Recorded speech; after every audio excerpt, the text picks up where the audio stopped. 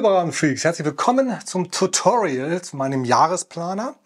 Ich habe jetzt den Jahresplaner in der Version 5.0 fertiggestellt. Also wir sind schon fünf Jahre tatsächlich dabei mit diesem Jahresplaner. Den gibt es bei uns auf der Homepage zu kaufen, ja tatsächlich zu kaufen. Für wenig Geld, finde ich. Ich habe da sehr viel Arbeit reingesteckt. Und ich möchte euch heute in diesem Video zuerst die Neuerungen zeigen. Was hat sich gegenüber der Version 4.0 verändert? Ich habe aufgrund meiner Greenkeeper-Ausbildung an der Deuler in Kempen doch eine ganze Menge verändert. Die Erkenntnisse, die ich da gewonnen habe, habe ich in den Jahresplaner jetzt einfließen lassen in die Version 5.0. Ich zeige sie euch gleich. Ich zeige euch die Veränderungen. Ich zeige dann nochmal im Schnellverfahren, wie der Jahresplaner anzuwenden ist. Ja, und dann zeige ich zum Schluss noch mal ein paar Tipps, äh, wie ihr vielleicht auch die eine oder andere Formel nochmal verändern könnt, wenn ihr das wollt. Da gab es schon mal eine Anfrage. Ja, also legen wir los, schalten wir um auf die Excel-Datei. Ich starte jetzt mal hier die Aufnahme. Was hier neu ist am Jahresplaner 5.0, fangen wir mal vielleicht auf der ersten, auf dem ersten Reiter an. Ich habe hier die ähm, Einträge für die Hauptnährstoffe, die habe ich angepasst. Es gibt ja dieses Nährstoffverhältnis, weil ich, was ich in diesem Video hier schon mal erklärt habe, von 1 zu 0,3 zu 0,8 zu 0,2 für Stickstoff, Phosphor, Kalium und Magnesium. Das ist jetzt hier eingearbeitet, also hier braucht man nur noch den Stickstoff eingeben und dann errechnet sich, jetzt sagen wir mal hier 20 und dann errechnet sich hier automatisch äh, der Wert für die anderen Hauptnährstoffe nach der Formel, die halt eben von den Profis so vorgegeben ist. Dann könnt ihr noch eine Anpassung vornehmen aufgrund eurer Bodenanalyse. Darüber haben wir ja auch in dem Video gesprochen. Ja, dann habe ich hier einen Bereich dazu gefügt, ähm, um eine Bodenanalyse hier einzutragen und auch direkt vor Augen zu haben. Hier zum Beispiel jetzt mal mein Ergebnis von der LUFA aus dem November letzten Jahres. Und das hatte ich ja auch schon ausführlich erklärt in äh, dem letzten Video. Und hier kann man eben dann einfach, um einen Überblick zu haben, äh, die, ja, die Messergebnisse eintragen und dann eben entsprechend auch äh, darauf hier oben mit den ja, Nährstoffmengen reagieren. So, weiter hat sich hier eigentlich nichts äh, verändert. Dann ähm, genau haben wir hier nach wie vor unsere Übersichtstabelle, die Produkttabelle, die habe ich auch nur etwas vereinfacht. Da habe ich jetzt hier eine Bemerkungsspalte zugefügt weil ich das doch interessant fand, hier noch ein paar Informationen zu den Nährstoffen einzutragen, habe ich jetzt nicht überall gemacht, könnte man noch weiter ergänzen. Also zum Beispiel hier Novatec, dass das eben ein Nitrifikationshemmer ist, also die eben die äh, Umwandlung von Ammonium in Nitrat äh, hemmt. Oder ob es ein Langzeitdünger ist oder vielleicht auch äh, wie viel Gramm bei einem bestimmten Produkt auf die Fläche gestreut werden sollte. Ja, die habe ich ein bisschen vereinfacht hier, die Tabelle. Und das Entscheidende, das ganz Neue, das Wichtige ist hier im dritten Reihe Reiter die Rubrik Nährstoffe. Und hier habe ich die Erkenntnisse, das können wir ein bisschen größer machen, sehe ich gerade. Genau, machen wir auf 100. Und hier habe ich ähm, die Erkenntnisse aus meinem Greenkeeper-Lehrgang eingetragen. Also was sind tatsächlich ähm, die ja, sinnvollen Nährstoffmengen im Boden. Hier zum Beispiel für die Hauptnährstoffe habe ich ja auch in dem äh, letzten Video ausführlich erklärt. Was sind die Optimalbereiche für die Mikro Mikronährstoffe? Hier noch ein Punkt, den habe ich im letzten Video nicht erklärt. Das, die grundsätzliche Empfehlung ist ja hier 1 zu 0,3 zu 0,8 zu 0,2. Aber wenn man jetzt bestimmte Gräser dominant in seiner Rasenfläche hat, dann kann tatsächlich dieses Verhältnis ein bisschen angepasst werden. Dann sollte das Verhältnis aus meiner Sicht sogar ein bisschen angepasst werden. Also zum Beispiel äh, ist bei der Festuca rupra das Verhältnis von Stickstoff zu Kalium tatsächlich eher 1 zu 1. Also da ist die 0,8 für Kalium vielleicht ein bisschen zu wenig, wenn man eine reine Festuca rupra Fläche zum Beispiel hat. Auch bei der Poa pratensis gibt es leichte Abweichungen. Das sind Nährstoffgehaltsmengen, die man im Schnittgut äh, festgestellt hat. Und da kann man jetzt natürlich äh, auch dann seine ganz individuelle äh, Düngergabe ein bisschen drauf abstimmen. Dann habe ich hier nochmal den Kalkgehalt im Boden mit aufgenommen, was ist kalkfrei, was ist sehr kalkhaltiger Boden als Information. Ich habe hier die pH-Werte nochmal aufgenommen, um mal ein Gefühl dafür zu kriegen, was bedeutet eigentlich ein pH-Wert. Und hier mal so die Vergleichssubstanzen mit draufgenommen, einfach weil ich das interessant fand. Gut, also das sind die Veränderungen, ähm, die in den Jahresplaner eingeflossen sind. Und jetzt äh, möchte ich euch im zweiten Step nochmal kurz erklären, wie das eigentlich funktioniert, der Jahresplaner. genau. Ähm, ihr kriegt tatsächlich diesen Jahresplaner so ausgefüllt. Ihr müsst dann hier eure Rasenfläche eingeben, 450 Quadratmeter, also die entsprechende Rasenfläche. Ganz wichtig, alle roten Zahlen in diesen Tabellen sollten, also alle Felder mit roten Zahlen sollten nicht geändert werden. Da stecken nämlich Formeln hinter. Also da möglichst nichts dran ändern. Dann habe ich hier mal meine Planung für dieses Jahr eingetragen und sehr so grundsätzlich aufgeschrieben, wie jetzt so eine, ja, ich sag mal, eine Rasenfreak-Jahresplanung aussehen sollte. Also angefangen bei der Bodenanalyse, irgendwo Januar, Februar vielleicht. Dann das Kalken, um rechtzeitig vor der ersten Düngung den pH-Wert anzupassen, dass man zwei bis vier Wochen vorm Start im März, um das Wurzelwachstum zu fördern, durchaus schon erifizieren sollte und sanden, also mit Hohlspoons erifizieren und sanden. Dann kommt irgendwann die Forsythienblüte oder wir haben endlich die 8 Grad im Boden. Das ist ja dieses früher alles, äh, alles völlig durcheinander. Aber ich sag mal, Forsythienblüte, äh, das ist so immer noch ein guter Zeiger für die erste Düngung. Und dann geht das so weiter und dann kann man eben oft düngen, man kann selten düngen. Das müsst ihr dann tatsächlich selbst bestimmen. Ich habe hier mal meinen Plan, den ich mir so vorgenommen habe für dieses Jahr eingetragen. Das könnt ihr alles rauslöschen und dann ähm, ja, von vorne anfangen. Wichtig ist, man fängt tatsächlich mit seinem Zielwert für Stickstoff an. Ich habe jetzt mal hier so eine komische Zahl da so ein komische, ich hoffe, das seht ihr nicht auch so. 20. Ja, genau. Ich habe jetzt mal hier einfach 20 Gramm Stickstoff eingetragen und jetzt habe ich zum Beispiel ja hier ein Problem mit Phosphor und er sagt, bei 20 Gramm äh, Stickstoff bräuchte ich 6 Gramm Phosphor pro Quadratmeter pro Jahr auf der Fläche. Da habe ich gesagt, nö, also mir reicht 1 Gramm Phosphor dieses Jahr, weil ich halt viel zu viel Phosphor im Boden habe. Und hier unten schmeißt ihr euch dann die Ergebnisse nach eurer Jahresplanung aus. Die anderen Werte habe ich mal einfach so gelassen. Gut, das ist so eigentlich das Einzige, was ihr machen müsst. Und dann könnt ihr noch hier eure Ziele angeben, wie oft ihr eine Bodenanalyse machen wollt, wie oft ihr lüften wollt, vertikutieren, erifizieren, sanden und so weiter.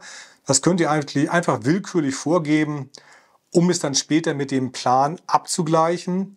Errechnet euch auch auf Basis der groben, der ganz groben Kosten für die Dünger aus, äh, was ihr so an Geld äh, pro Jahr für eure Dünger ausgeben ähm, müsst. Ähm, aber es sind wirklich nur ganz grobe Anhaltswerte. Das äh, ändert sich jetzt gerade so, äh, so krass. Gut. Okay. Und wie funktioniert das jetzt? Ja, also ihr fangt hier einfach an. Ich lösche jetzt mal, ich lösche jetzt mal einfach hier die Dünger heraus. So. Schmeißen die einfach mal raus. Zack. Gut. Dann schmeißen wir mal die Düngermengen hier raus. Ich hätte es mal mit der Maus machen sollen. Zack. Genau, und jetzt seht ihr, hier steht 0000 und auch hier in unserer schönen Übersicht ist jetzt sind nur die Zielwerte drin und nicht die Ist-Werte. So, und jetzt sagt ihr euch, naja, ich will dreimal im Jahr düngen, ich will 20 Gramm Stickstoff düngen, 1 Gramm Phosphor. Und jetzt kann ich mir eben sagen, hier März, erste Düngung, jetzt suche ich mir hier mit dem Pull-Down-Menü. Da suche ich mir jetzt meinen Startdünger aus für die erste Düngung. Und ich habe ja gerade jetzt gesagt, ich will kaum irgendwie äh, Phosphor düngen, also nur, oder nur sehr wenig Phosphor düngen. Und da ist zum Beispiel, äh, ja, was ist denn da für ein schöner Dünger? Hier zum Beispiel der Nero. Nehmen wir den Nero, der ist jetzt von Grashopper, kann auch jeder andere Dünger sein, ähm, ganz egal, den Nero. Und den schmeißen wir jetzt mal mit, was weiß ich, 30 Gramm pro Quadratmeter oder 35 Gramm abbrechen. Oder 35 Gramm pro Quadratmeter auf die Fläche. Das sind dann ungefähr 15 Kilo. Und dann seht ihr schon, dass sich hier was verändert hat. Aha, wir haben in der ersten Düngung tatsächlich 3,5 Gramm Stickstoff damit schon auf die Fläche gebracht. 1,4 Gramm Kalium und 0 Gramm Magnesium. Okay, gut, ist ja in Ordnung. So, dann wollen wir alle, alle sechs bis acht Wochen düngen. Also düngen wir jetzt hier wieder im Mai, ne, Ende März, Anfang Mai. Dann nehmen wir nochmal den Nero, weil wir natürlich gerade in der Garage haben und hauen da wieder 35 Gramm drauf. Und dann im Juni, Juli, äh, da wollen wir nicht ganz so viel Stickstoff düngen, vielleicht ein bisschen mehr Kalium, um die Pflanzen stressresistent zu machen. Da können wir, ja, was nehmen wir denn da? Nehmen wir mal jetzt einen anderen Dünger, zum Beispiel nehmen wir hier den Florian Twin Eagle K, ganz willkürlich mal ausgesucht. Der hat also deutlich weniger Stickstoff und sehr viel Kalium. Dann nehmen wir auch mal, was weiß ich, 30 Gramm hier oder 35 Gramm, nehmen wir die gleiche Menge, machen uns das einfach. Und ja, dann kommen wir hier in August, äh, September, da düngen wir dann nochmal. Da brauchen wir jetzt auch nicht mehr ganz so viel Stickstoff ähm, und schon auch mehr Kalium. Also nehmen wir nochmal den Floranid Twin Eagle K mit 35 Gramm. Und äh, dann äh, schauen wir uns mal das Ergebnis an. Und dann seht ihr schon, oh, dann seht ihr schon, aha, also Stickstoff hat nicht ganz gereicht. Kalium ist ein bisschen zu viel schon. Wir wollten nur 16 Gramm äh, Kalium streuen, aber haben jetzt 19 Gramm schon gestreut. Phosphor ist null, gar nicht schlecht, also hätte nicht null sein müssen. Also was ist zu tun? Also wir können natürlich eins machen, wir können sagen, okay, wir können hier mal den, den Nero ein bisschen hochnehmen, nehmen wir 45 Gramm pro Quadratmeter zum Start in die Saison und nehmen hier den Fluoranid ein bisschen runter. Ne, 30 wollte ich nehmen. So, und da sind wir hier tatsächlich schon, ups, weg da. weg. Dann sind wir hier äh, schon mal ein bisschen mit dem Kalium runtergekommen und mit dem Stickstoff sind wir ein bisschen hochgekommen. Ist aber nicht so ganz optimal. Also gefällt mir nicht. Also dann ist vielleicht doch dieser Twin Eagle gar nicht so der richtige Dünger. Also nehmen wir jemanden, nehmen wir vielleicht einen Dünger, der ein bisschen ausgeglichener ist. Ich sehe hier gerade zum Beispiel hier den Basatop. Ähm, wo war das hier? Der hier, der Basatop NK. Wir haben tatsächlich die Idee, im Herbst äh, nochmal nachzusehen. Da ist so ein ganz bisschen Phosphor vielleicht doch gar nicht so schlecht. Also setzen wir hier im Herbst erstmal den Basatop NK rein ähm, mit 30 oder 35 Gramm sogar und äh, schauen hier, dass wir im Sommer einen Dünger nehmen, der ein bisschen ausgeglichener ist, der also hier vielleicht den fertile Swing ähm, mit 35 Gramm. So, und dann sind wir hier tatsächlich schon gar nicht so schlecht unterwegs. Wir haben 20 Gramm Stickstoff pro Quadratmeter pro Jahr geplant, sind jetzt bei 18,8 ein bisschen weniger als geplant, gar nicht so schlecht. Könnte man noch ein bisschen anpassen. Phosphor 1 Gramm Stickstoff perfekt. Kalium ganz bisschen zu hoch. Ja, okay, das äh, gefällt mir aber nicht schlecht. Ähm, das würde ich sogar so lassen. Vielleicht nehme ich noch eine Düngung dazu, dass man sagt, okay, ich ähm, mache hier nicht nur zwei Düngen, Düngungen mit dem Nero-Mix, sondern ich ähm, gehe hier im Juni äh, nochmal auf den, auf den Nero-Mix mit 1004 und äh, reduziere dadurch ein bisschen die anderen Mengen. Gehe also hier mit, was weiß ich, 35 nochmal rein und äh, ändere hier auch auf 35 und hier auch auf 35 oder erst die 45, starte in die Saison. Schauen wir uns das Ergebnis an. Oh ja, das ist jetzt ein bisschen viel. Also das war doch nicht so gut. also, also gehen wir, bleiben wir doch hier bei 35 und dann machen wir hier 30. Und so, und das ist genau das, was ich euch vermitteln will, so hangelt man sich dann hier durch, so sucht man sich dann die Dünger aus, die man gut findet, bis man tatsächlich hier ein Ergebnis zusammen hat, was ganz gut passt. Und ihr seht, das geht hin und her, das geht rauf und runter. Und äh, das ist halt die große Zauberei. Das ist die große Zauberei, ja, die Dünger so zu wählen, dass am Ende die, dass am Ende die Nährstoffmengen auf die Fläche kommen, die man sich so vorgestellt hat. Und das ist tatsächlich eine, eine Bastelei. Das ist tatsächlich, ähm, ja, das ist so ein Trial and Error, äh, würde ich sagen. Und deswegen habe ich eben hier eine ganze Reihe von Produkten hier schon eingetragen, die ihr verwenden könnt. Ihr könnt äh, auch äh, weitere Produkte hier dazu nehmen. Ähm, ihr müsst ein bisschen aufpassen, wenn ihr die Tabelle erweitert, dann äh, müssen hier hinten diese Rechnungen äh, drin bleiben. Also besser ist es tatsächlich, wenn ihr andere Produkte verwenden wollt, von welchem Hersteller auch immer, dass ihr einfach dann äh, diese Produkte in der Tabelle raus äh, und äh, eure eigenen Produkte eintragt. Hier entsprechen die Stickstoffmengen, die Angaben in Prozent, die auf der Verpackung stehen. Und dann rechnet die Tabelle sofort ähm, kann ich mal machen, hier mal einen kleinen Test machen. Hier der Test. Nehmen wir einen Test hier rein und sagen hier einfach ganz schnell mal, ist jetzt ein 20 Kilo Sack. Der kostet, was weiß ich, 80 Euro, alles teuer geworden. Und der hat jetzt meinetwegen, der Test hat 15, 0, 15 und hier hat er 3. So, also den haben wir jetzt drin. Wenn ihr jetzt in den Jahresplaner geht und diesen Test hier verwenden wollt, dann ist er sofort da. Dann ist hier unten sofort der Testdünger da und passt hier sofort das Ergebnis an. Und ihr seht, der hat sich schon wieder verändert. So, und so arbeitet ihr mit dieser Tabelle. Wenn ihr Fragen habt, schreibt mich gerne an. Äh, wenn ihr da nicht mit klarkommt, meldet euch. Im Prinzip äh, war das das schon, was ich euch hier vermitteln wollte. Es gibt so ein paar Sachen, die, ähm, ja, die ähm, ihr euch gewünscht habt. Zum Beispiel kann man eben hier auch die anderen Tätigkeiten mit äh, eintragen, also Topdressing zum Beispiel oder äh, Kalken oder was auch immer. Und ähm, bei manchen fehlte da an der Stelle dann eine Tätigkeit. Und hier habe ich aber jetzt schon eine ganze Reihe von Tätigkeiten vorgegeben. Da könnt ihr natürlich hier einfach das ändern äh, in Test zum Beispiel. Und dann habt ihr eben hier sofort in diesem Pull-Down-Menü äh, eure Tätigkeit, die ihr jetzt speziell auf eurer Rasenfläche durchführen wollt. Also da braucht ihr bloß da hier in der Tätigkeitenübersicht äh, einfach diese Felder zu verändern. Ich mache das mal wieder rückgängig. So.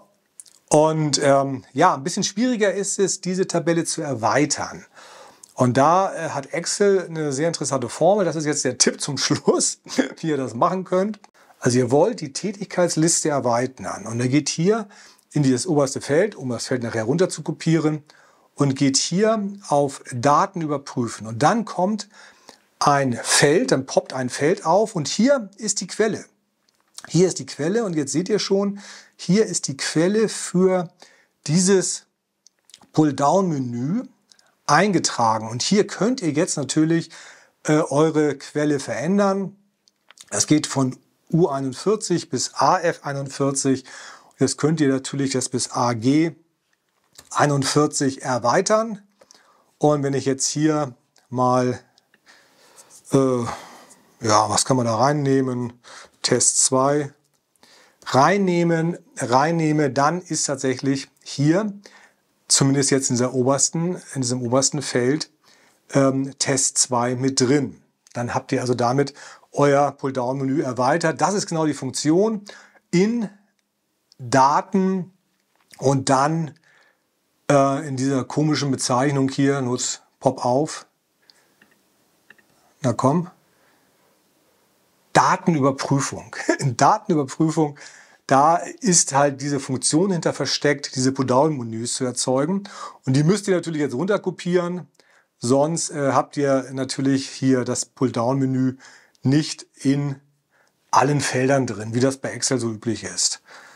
Ja, das soll soweit gewesen sein ähm, mit unserem Jahresplaner hier.